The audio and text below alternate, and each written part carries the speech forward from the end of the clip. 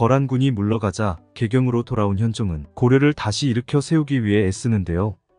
현종은 전쟁에서 공을 세운 대신들에게 포상을 내리는가 하면 전쟁 중에 성을 두고 혼자만 도망친 탁사정을 벌하지 않고 용서해서 대신들의 불만을 사기도 했죠. 그런데 더 중요한 일이 벌어집니다. 몽진 중에 호족들의 횡포와 비리를 알게 된 현종은 지방 개혁을 추진하기 위해 호족들에게 전쟁을 선포하죠. 그리고 호족의 비리와 실상을 제일 잘 알고 있는 공주 절도사 김은부를 급하게 개경으로 부릅니다. 김은부가 몽진길의 현종에게 고려가 거란에게 크게 당한 건 바로 호족들 때문입니다. 라고 서신을 보냈는데 김은부의 작전이 딱 먹힌 거죠. 김은부는 그렇게 맞다를 데리고 개경으로 입성합니다. 그런데 이런 현종의 의견에 감히 반기를 들고 나선 자가 있는데요. 바로 강감찬입니다.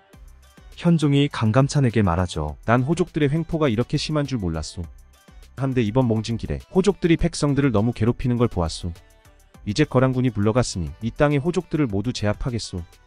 그러자 강감찬은 그건 불가옵니다. 절대로 따를 수 없습니다. 라고 단호하게 맞서는데요. 한편 현종이 호족을 칠 것이라는 소문이 성 밖으로 퍼지자 그 소문을 들은 박진은 지방 호족들을 불러서 이렇게 말합니다. 폐하께서 건왕군이 물러가자 호족들을 제압하려고 합니다. 이대로 가만히 당할 수 없습니다. 최대한 힘을 모아주십시오. 라고 하는데요. 박진은 이미 아들을 둘이나 잃었지만 박진에게는 박영이라는 조카가 있었습니다. 제작진의 말에 따르면 앞으로 현종에게 대적하는 인물로 박진의 조카 박영이 새로 등장하여 박진의 오른팔 역할을 한다고 하네요. 실제 역사에 존재했던 인물은 아니고 드라마의 재미를 위해 각색된 인물인 것 같습니다. 저는 현종이 박진을 바로 죽일 줄 알았는데 박진의 조카가 이제 등장하는 걸 보면 박진이 아직 죽지 않고 현종에게 대적하며 드라마의 긴장감을 계속 조성할 것 같네요. 그렇다면 강감찬은 왜 현종의 의견에 반대한 걸까요? 강감찬 역시 호족이기 때문에 그랬을까요? 개경에 온 김은부가 현종에게 그러죠. 학사승지도 호족이옵니다. 끝내 설득되지 않는다면 내치셔야 합니다.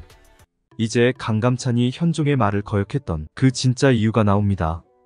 17회에서 강감찬은 수창궁 서고에서 안타까운 눈빛으로 텅 빈 책장을 바라봅니다.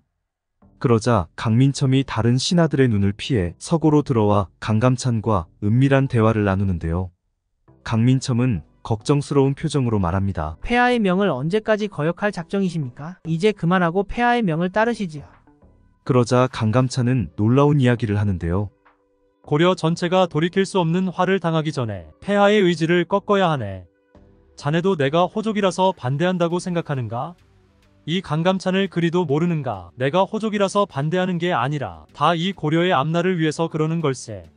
라고 대답하죠. 강감찬이 생각할 때 지방 호족 세력을 제압하는 것도 중요하지만 지금은 그것보다 더 시급한 일이 있었는데요. 한참 고민하던 강감찬은 더는 참지 못하고 곧장 현종을 찾아갑니다.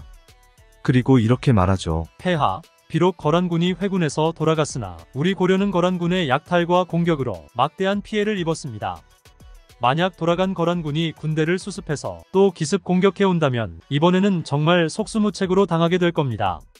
지방 호족을 소탕하는 것도 중요하지만 지금은 서둘러 거란에 사신을 보내십시오. 거란군이 당분간 침략하지 못하도록 화의를 구하는 사신을 파견하십시오. 그렇게 거란군이 침입하지 못하도록 여러 차례 사신을 보내서 시간을 벌면서 그동안 민심을 수습하고 전쟁에 대비하시옵소서. 그리고 지금은 한참 농사를 지어야 하는 음력 4월입니다.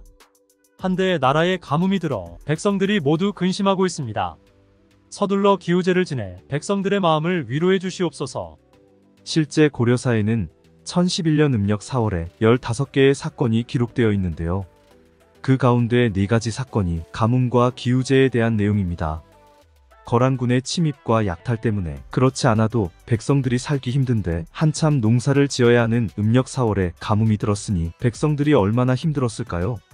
그리고 강감찬은 또 말을 이어갑니다. 폐하, 박진을 포함한 지방 호족들의 횡포가 심하다는 건 소신도 잘 알고 있습니다. 하지만 그들을 하루아침에 무력으로 제압하는 건 불가능합니다. 거란군이 언제 또 쳐들어올지 모르는 상황에서 지방 호족들까지 반란을 일으킨다면 고려는 대혼란에 빠지고 말 것입니다. 따라서 지금은 관용을 베풀면서 유화 정책을 펼치십시오. 천천히 그들을 제압하면서 상과 벌을 내려 황제의 위엄을 보여준다면 그들도 섣불리 반란을 일으키진 못할 겁니다. 실제 고려사에 따르면 현종은 고려 건국 100주년이 되는 1018년인 현종 9년에 전국의 사도오부, 팔목, 56지주 군사, 28진장, 20현령을 두어 지방 호족 세력을 억누르고 임금의 권한을 강화시킨 후 드디어 체계적인 군현제를 확립합니다. 2차 고려거란 전쟁이 끝난 뒤 호족을 완전히 제압하는 데까지 약 7년의 시간이 걸린 거죠.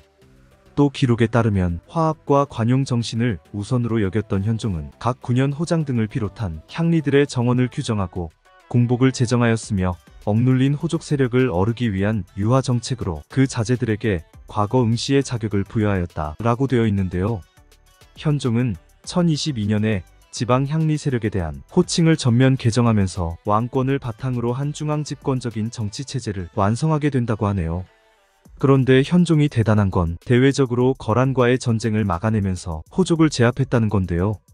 실제로 1011년 2차 고려거란 전쟁이 끝난 뒤 제3차 고려거란 전쟁은 7년 뒤 1018년에 일어납니다. 하지만 그 사이에 거란군이 그냥 가만히 있었던 건 아니었습니다. 거란은 1014년부터 1017년까지 크고 작은 침략을 계속했기 때문입니다. 그래서 어떤 역사학자는 제3차 고려거란 전쟁을 제6차 고려거란 전쟁이라고 하시는 분도 있더라고요. 제3차 전쟁인 귀주대첩이 일어나기 전에 거란군이 두 번이나 더 쳐들어왔기 때문이죠.